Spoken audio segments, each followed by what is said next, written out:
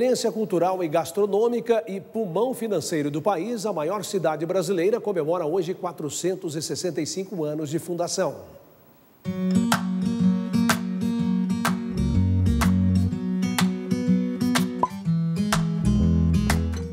É um lugar com 12 milhões e 200 mil habitantes, de passos acelerados. É sobre São Paulo. Muita gente, né? Tem muito. A gente perde muito tempo no transporte. Está ocupado e com pressa. É verdade. Muito. Muito. Eu sou acelerada. Com 68 anos eu sou acelerada. É a capital do trabalho. É o motor da economia do país ligado 24 horas. É a terra da garoa, um dos poucos lugares em que dá para experimentar as quatro estações num único dia. Por aqui tem muito barulho no ar, no chão, no vagão, mas há silêncio também. É a terceira cidade com o maior número de arranha-céus do planeta. São quase 6 mil.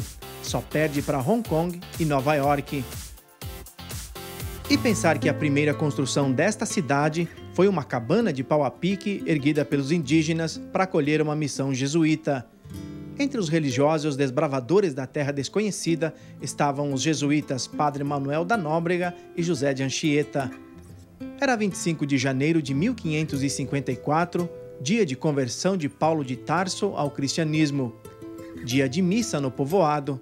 Assim, nascia a São Paulo de Piratininga, fundada sob dois pilares: fé e educação eles vêm para esse lugar para resguardar, digamos assim, a missão que eles tinham.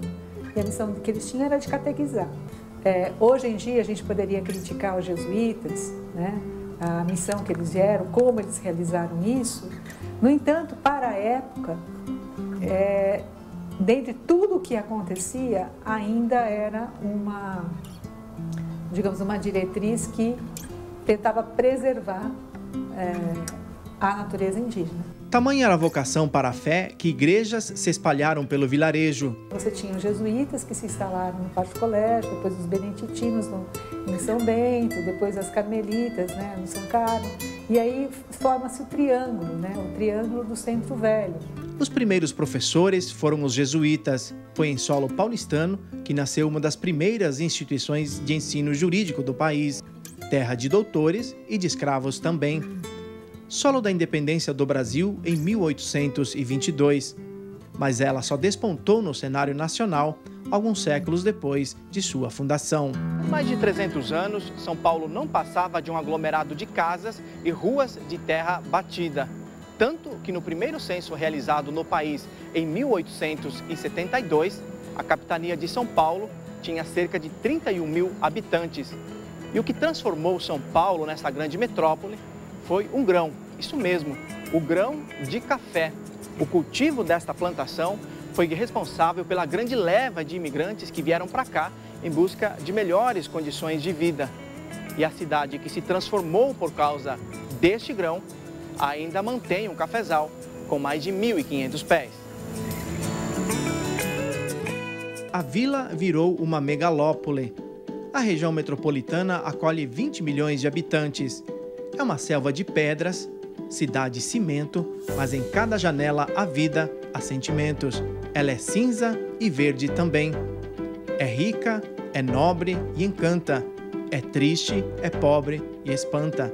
Muitos contrastes, né? A gente tem desde mansões gigantes, né, com muito luxo, muita fartura, e por outro lado, a gente tem muitas e muitas pessoas que estão numa situação de extrema vulnerabilidade, né, nas ruas, né, é, não recebendo, digamos assim, um mínimo para se reerguer.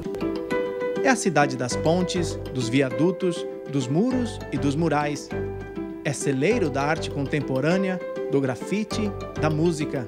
É uma cidade em movimento, polo de turismo e de monumentos, muitos monumentos. São Paulo ficou conhecida numa época como a cidade dos mil povos. Então tem uma diversidade culinária, uma diversidade musical, né, de distintas culturas. Sampa de todas as raças, de todos os credos, de muitos Brasis, de muitos sotaques e idiomas. Sou de Moçambique. Qual é a impressão que o senhor tem dessa cidade? Muito boa muito bom, maravilhosa. Não é essa daqui? Não, é de Argentina. É linda. Sou de São Paulo, não. Sou do Piauí. São Paulo de imigrantes e imigrantes que transformaram a cidade na capital da gastronomia. O sabor de São Paulo é para encantar o mundo. Ela contém um pedacinho de cada parte do mundo. Eu, assim, é uma cidade de fato cosmopolita. É uma cidade que abarca todo mundo, ao mesmo tempo que repele, ela recebe. É uma cidade grande, né? Que recebe todo mundo, está aberta para receber todo mundo, né? São Paulo da generosidade, da arte, da educação, da oportunidade, do trabalho e do café. São Paulo do amor, da caridade, da esperança e da fé. Eu mais queria que tivesse menos carro na rua. O povo fosse mais consciente, né? Não jogasse tanto lixo na rua.